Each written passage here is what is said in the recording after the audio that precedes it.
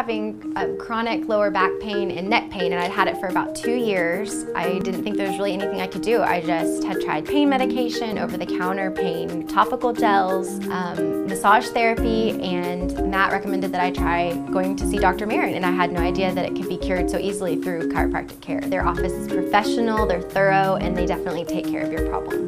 Because you only have one body, one life, one spine. Let us take care of yours at One Spine Chiropractic.